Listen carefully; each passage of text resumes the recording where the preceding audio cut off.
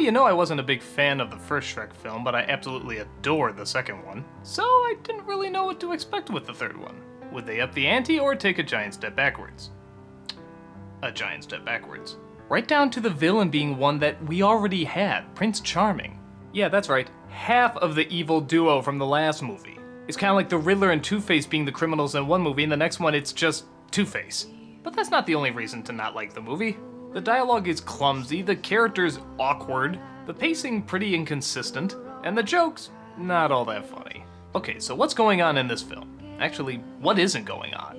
Fiona's father dies in a surprisingly kinda distasteful death scene, which means now Shrek has to be king. But Shrek doesn't want to be king, so he sets off to find the real owner of the throne, Arthur, a whiny little awkward teen played by Justin Timberlake, who I'll admit does get a laugh here and there.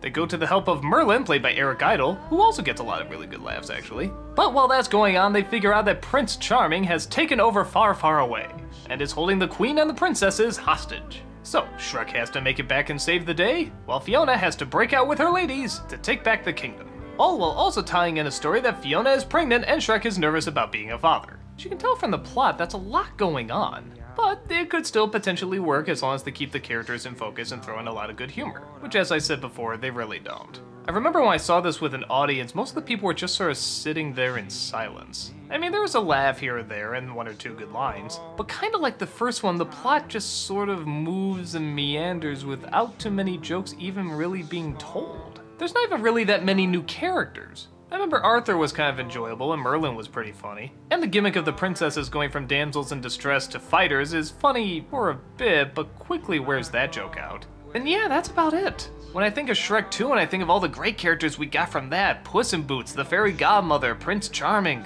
the king and queen, the disgruntled elves that worked for the godmother. I remember so much from that film and yet remember so little from this one.